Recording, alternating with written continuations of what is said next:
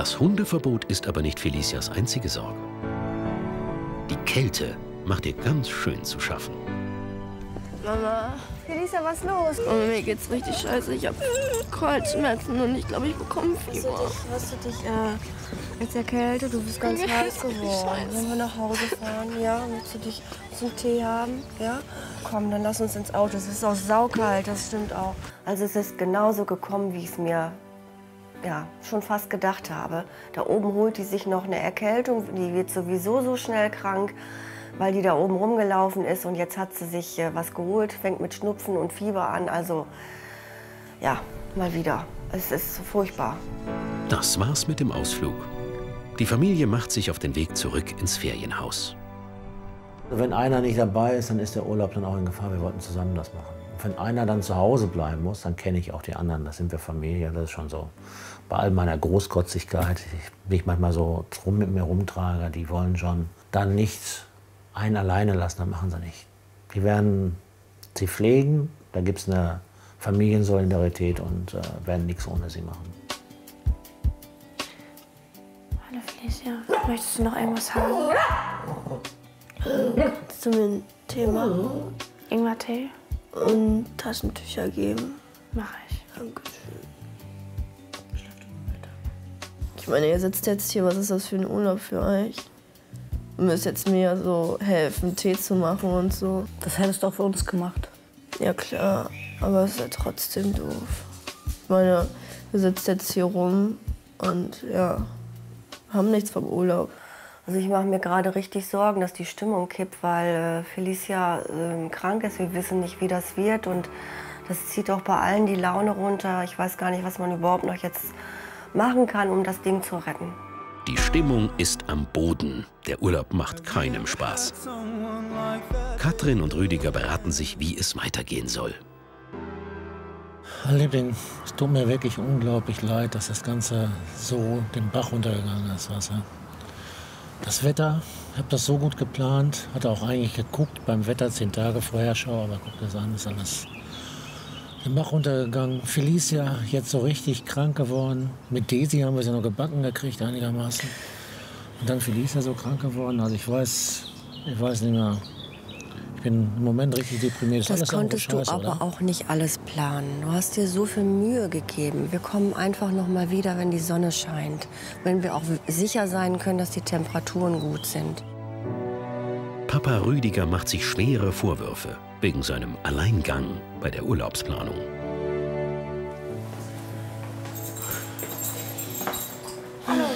Hi. Es sind ja fast alle zusammen. Ist auch da. Ja, Felicia liegt da vorne. Ihr geht's immer noch nicht so gut. Ich wollte mich bei euch entschuldigen dafür, dass äh, ich euch hier hochgeführt habe. Und das Ganze quasi so ins Wasser gefallen ist. Es tut mir unsagbar leid. Bitte entschuldigt, dass es tut mir unsagbar leid. Ein paar Sachen hätte ich, konnte ich nicht vorplanen, aber es ist trotzdem irgendwo missgelaufen. Es tut mir leid. Es muss dir nicht leid tun, Papa. Da kannst ja nichts für. Wir wissen jetzt einfach auch nicht, wie wir den Urlaub noch für alle retten können. Ähm, dazu habe ich mit euch was zu bereden. Ich und Vincent haben beschlossen, dass ihr was mit den Kleinen unternehmen könnt. Dann bleiben wir hier bei Felicia, damit sie sich ausruhen kann und nicht alleine ist und wir hier, ihr hier helfen und die Kleinen noch einen schönen Urlaub haben. Dann könnt ihr was noch heute mit ihnen unternehmen, irgendetwas Schönes und wir sind dann bei Das ist Felicia. total lieb von euch, wirklich, wirklich. Das würdet ihr wirklich machen? Ja klar, die Kleinen sollen auch noch einen schönen Urlaub haben. Wir sind ja auch hauptsächlich wegen ihnen hier. Ihr seid wunderbar. Komm mit. Ich habe da nämlich einen Alternativplan gehabt. Eine Überraschung. Komm mit. Ja, da bin ich ja mal gespannt, was der Papa jetzt noch für eine Idee hat. Dann helfe ich euch mal beim Tolle Idee. Anziehen. Überraschung. Ja? Danke. Dann ziehen wir uns noch mal an. Das ist Genau. Danke, danke, danke. Oh, Ich wünsche euch viel. Spaß. Danke, danke. Ciao.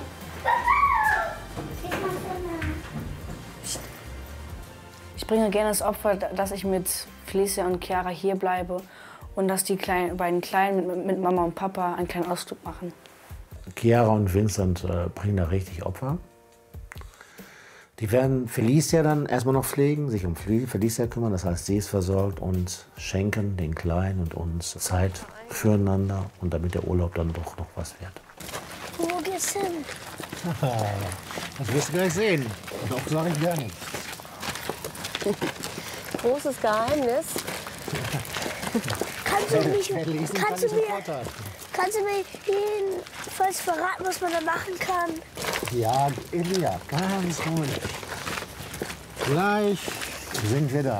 Ich weiß zwar nicht, wo es hingeht, aber jetzt sind wir ja nur mit unseren Kleinen unterwegs. Da wird sich mein Mann bestimmt was Tolles einfallen lassen. Er weiß ja, was denen gefällt. Papa Rüdiger hat für die kleinsten Familienmitglieder noch ein Ass im Ärmel. Der nahegelegene Freizeitpark.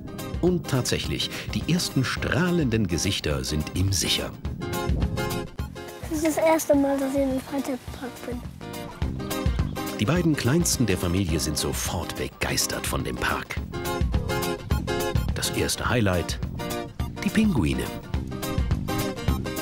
Müssten wir theoretisch hier sein. Das heißt, um zu dem Streichelzoo zu kommen, müssten wir hier jetzt weiter und dann bei dieser Abzweigung.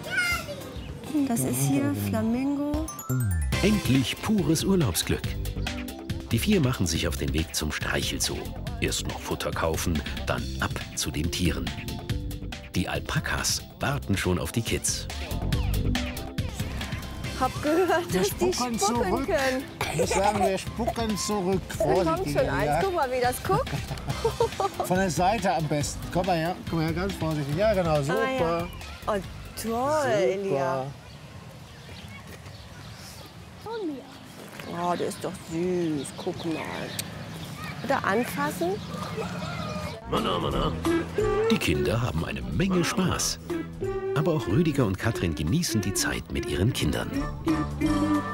Unsere kleine Viola, die auch ängstlich ist, als sie das Futter den äh, Alpakas da hingehalten hat, den Lamas und Alpakas, weiß gar nicht, und vorher irgendwo Katrin sagt, die spucken vielleicht und so weiter und so fort. Und die haben nicht gespuckt, sie hatte keine Angst, sie hat sich das rauslecken lassen aus den Händen, hat die gestreichelt. Also diesen Mut, diese Begeisterung hätte ich ihr nicht zugetraut. Es war schön, das zu sehen. Die Überraschung finde ich gelungen. So einen schönen Freizeitpark mit Tierpark gleich zusammen, das habe ich auch noch nicht erlebt. Also hat mir richtig gut gefallen.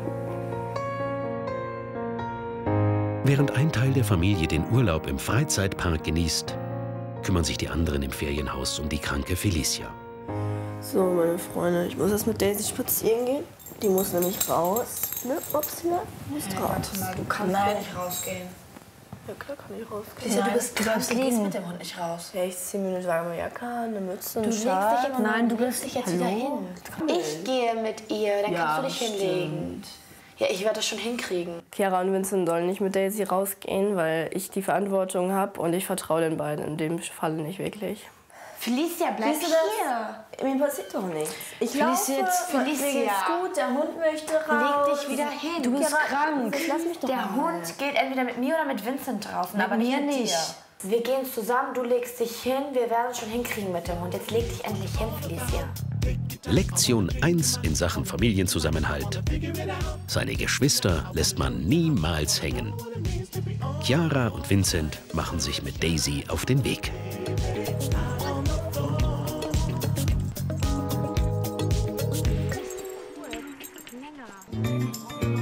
Währenddessen sind Elia und Viola auf dem Weg ins Karussell. Auch Rüdiger und Katrin wollen sich den Spaß nicht entgehen lassen. Für Mama Katrin ist es das erste Mal seit langer Zeit, dass sie Karussell fährt.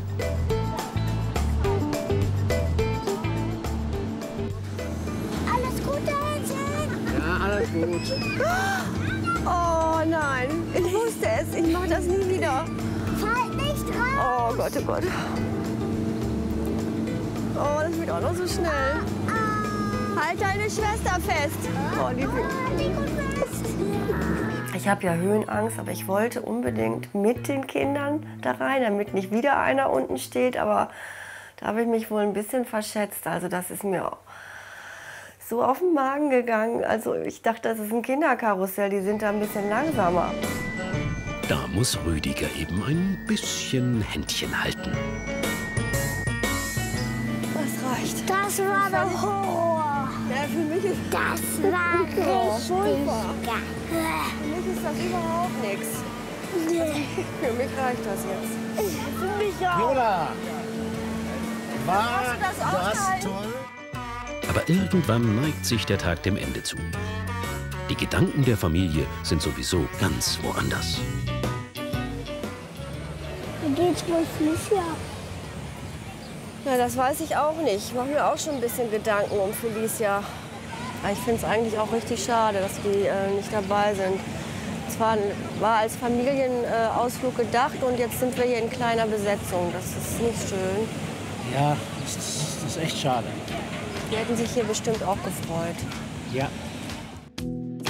Deshalb geht es für die Urlauber jetzt auch zurück zum Rest der Familie, der zu Hause wartet.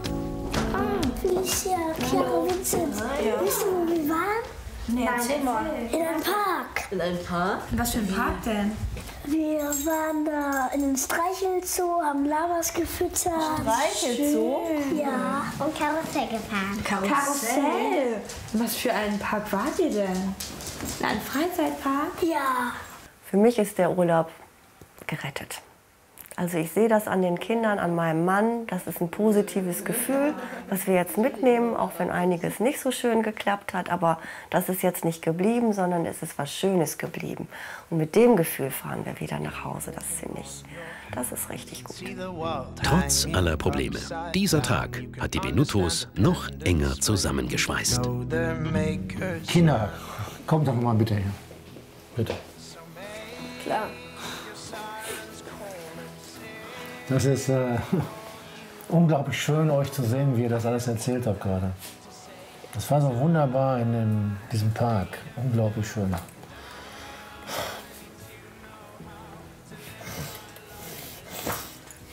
Ihr seid einfach großartig. Vorhin, oder vor einiger Zeit noch, da, da habe ich gedacht, der ganze Urlaub ist ähm, toll geplant, ist völlig im Bach untergegangen. Und dann kamt ihr. Super.